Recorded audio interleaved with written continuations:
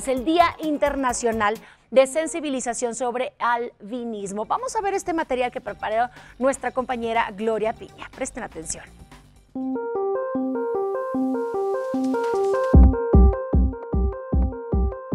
Claudia tiene albinismo, condición genética hereditaria que se caracteriza por falta de pigmentación en la piel y baja visión que puede llegar al grado de discapacidad visual. Lo más difícil del albinismo es la baja visión, ¿no? Y eso incide en la cuestión académica, en los retrasos que uno puede tener a la hora de presentar sus trabajos.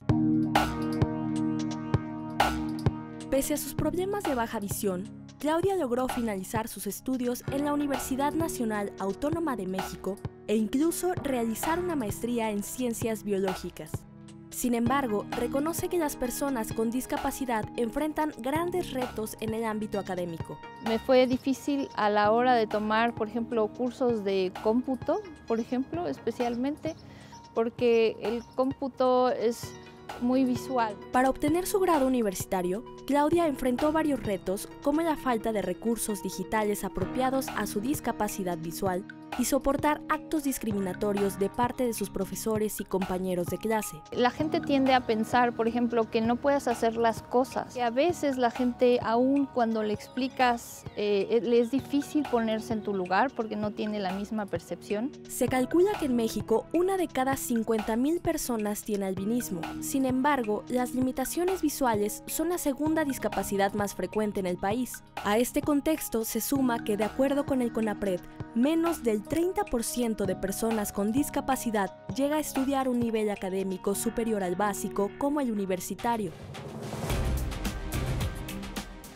Eh, de cada 10 personas con discapacidad, solo 4 egresan del nivel básico.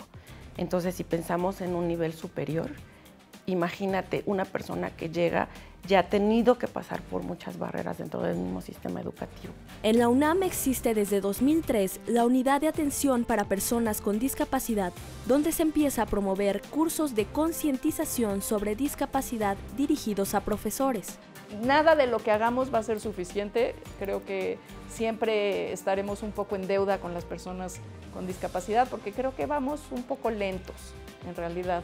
Eh, yo creo que la universidad tiene que hacer un esfuerzo todavía mucho más grande. Anteriormente no se pensaba que la persona con discapacidad entraba a la universidad y también eso impidió generar espacios incluyentes desde la estructura, desde los planes de estudio. Para Claudia, lograr una maestría pese a su discapacidad visual es un logro que la ha hecho crecer de manera personal. Uno se siente también muy empoderada, yo me siento mucho más empoderada, siento que también de alguna manera estoy más protegida teniendo un grado más. Tener más educación para la gente como yo sí es algo este, muy especial.